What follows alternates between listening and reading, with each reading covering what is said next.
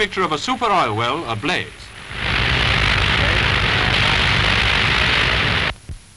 It's turn, Horace. So let's call this one Hot Stuff on Ice. They start off by saying, May we have the pleasure of this dance.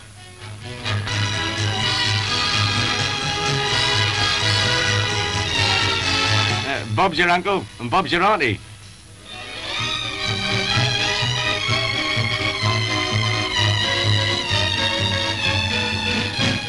Yes, you're right. It's in America. Rum idea, isn't it? Lots of boys and girls from the high school doing a big apple on ice.